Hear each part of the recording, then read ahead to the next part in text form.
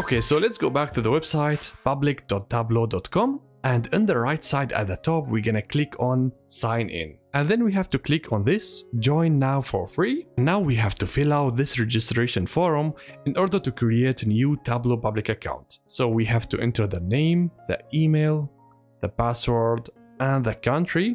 And then we have to read and agree on the terms and let's click here I am not a robot. And at the end you're gonna click on create my account. And now we got the message to verify our account. So that means we have to check our emails in order to activate our account. So let's do that. Okay so now after checking I got an email from Tableau. So I'm gonna click on it and then I'm gonna click on verify now in order to activate our account so I'm gonna click on that and then it's gonna send me to my account and with that we have brand new active Tableau public account. Well, it's like any other social media account, you can add your personal informations. For example, we can add our photo or avatar. So let me check what I can do over here. So I have this photo from Stuttgart Television Tower. It's amazing there. And then I'm gonna click save.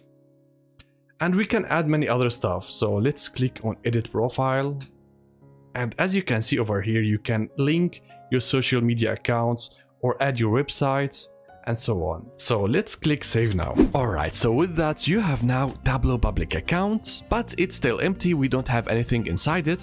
So next we will get the training datasets and I'm gonna explain for you the data model behind them.